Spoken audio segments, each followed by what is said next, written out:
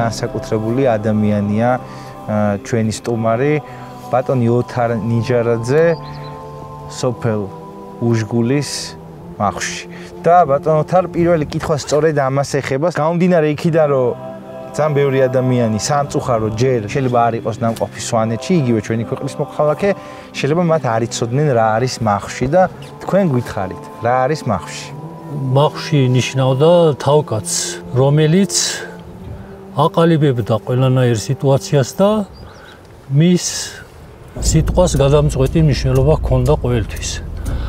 რა თქმა უნდა, მახში მარტო არ წყვეტდა თლიანად გადასაწყვეტ საქმეს, ანუ შეთანხმებულად თლიანად ყველა თემთან აბსოლუტურად შეთანხმებით ყალიბდებოდა ერთნაირი აზრი და მე მახში რა თქმა უნდა ამას სამშაურზე გადმოიტანდა ხოლმე და იტყო და თავის სიტყვას და აი ამასთან არის დაკავშირებული ყველაფერი. განსაკუთრებული სოფელია უშგული თავისი კლიმატური პირობებით, თავისი სიმაღლით, თავისი სილამაზით და ალბათ ტრადიციებითაც და თუ შეიძლება ამ ტრადიციების შესახებ რომ მოგვიყვეთ.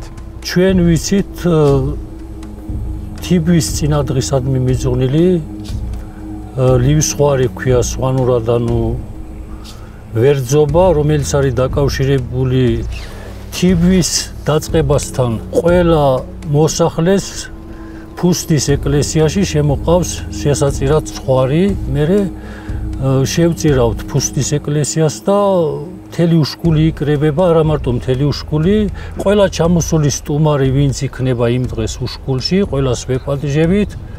და ყველა ჯდება აბსოლუტურად და ვაგზელებთ ნადიმს.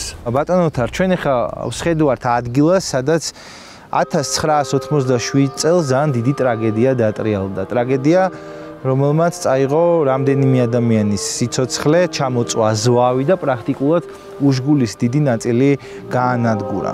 რომელსაც მოყვა მიგრაცია, იმ ადამიანების მიგრაცია, რომლებიც გადასახდნენ უშგულიდან საქართველოს სხვადასხვა ადგილებში და განსაკუთრებით ეს ალბათ ახალგაზრდობას ეხება. რას ეტყოდით ამ ადამიანებს და რამდენად დიდი პრობლემა დღევანდელ დღეს ახალგაზრდების მიგრაციის პრობლემა უშგულიდან. ეს უშუალოდ ძალიან დიდი ტრაგედიასთან არის დაკავშირებული, რა თქმა უნდა, 1987 წელს მოხდა დიდი ტრაგედია, ანუ ჩამოწვა ზვავი მთლიანად დაერასაც უყურებთ ამ ფერდობზე, დაახლოებით 5 მეტრის ოდენობით ნალექი ჩამოვიდა და ეს ერთბაშად მოწყდა მთლიანად თას და ჩამოწვა აი ამ სოფელზე, არა მარტო ამ სოფელში მთლიანად ფერდობზე მთლიანად და განსაკუთრებით ამ სოფელში მოხდა ტრაგედია, დაიღუპა 8 ადამიანი და აი რასაც უყურებთ ჩვენ ნანგრევებს ამჟამად ეს ყველაფერი დაანგრია. აი ჩვენ რომელ ადგილზეც ვიმყოფებით ახლა განსაკუთრებით ამას ჭირდება მიხედვა, იმიტომ რომ აი სულიად შესაძლებელია რო ზვავამრიდები ანუ ტერასები გაკეთდეს და აი ამ ადგილას ისევ ხალხი დაბუძნდეს, მობრუნდეს ხალხი ჩვენ მოსახლეობას უნდა ძალიან მობრუნება ისევ საკუთარ მიწაწყალზე და ეს გვიშლის ხელს რო უყურებთ როგორც ასეთი დიდთოლობა როცა არის ზამთარში გვეშინია იმის კიდე რო ხელმეორე ჩამოწვეს კიდევ ზვავი და კიდევ აი ასეთი მსგავსი სიტუაცია განმეორდეს ეს არის ჩვენი ქვეყნის ერთ-ერთი ყველაზე დიდი საგანძური, რომელსაც ჭირდება მოვლა. აქ ხშირად სტუმრობდა ჩვენი მეფეთ მეფე თამარი, რომელსაც სააკუშკულში საზაფხულო და საზამთრო რეზიდენცია. როდესაც კომუნისტები შემოვიდნენ, ფაქტიურად იმ პერიოდში განადგურდა 20-იან წლებში. მე კარგად მახსოვს, ვიყავი დაახლოებით 4 წლის, როდესაც საზამთრო რეზიდენცია თამარ მეფის საზამთრო რეზიდენცია ააფეთქეს.